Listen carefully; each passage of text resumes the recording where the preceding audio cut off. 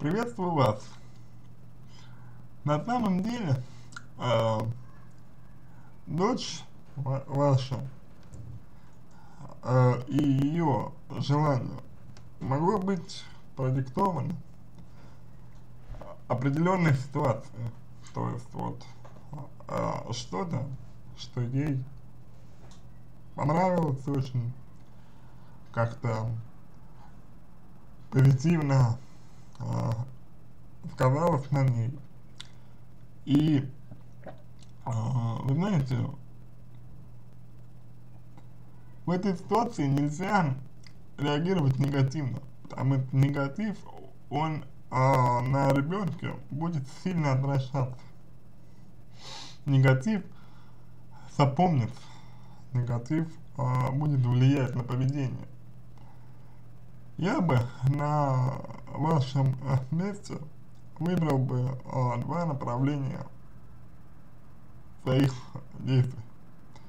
Первое, это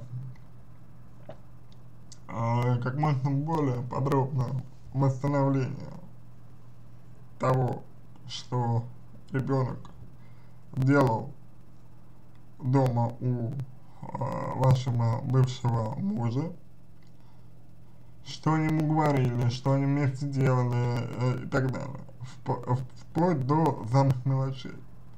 Нужно понять, что ребенку понравилось. Больше всего э, во время пребывания у вашего бывшего мужа. А вам, со своей стороны, э, следует поступить довольно-таки хитро, и а, сказать ребенку, что мы обязательно этот вопрос обсудим, но постоянно отвлекать э, его на э, что-то другое. То есть на, постоянно занимать его делами, занимать его какими-то э, действиями, какими-то играми, может быть, или что-то еще.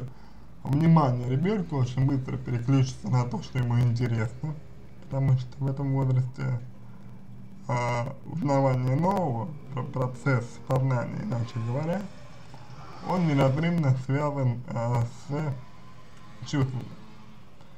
То есть и чувственная составляющая, и э, познавательная деятельность связаны между собой. Если вы сможете направить эмоциональную энергию ребенка на что-то другое, то он очень быстро забудет э, то, а, что он вам говорил, и то, а, по причине чего устраивал истерики. А деятельность ваша по выявлению того, что э, супруг, э, что ваш бывший супруг и его э, женщина э, дали ребенку такого, что он хочет это получать и ради этого готов жить постоянно с ними, поможет вам лучше понять, чего ребенок хочет, и обеспечить ему желаемое, тем самым убрав у него мотив для э, желания жить э, без вас.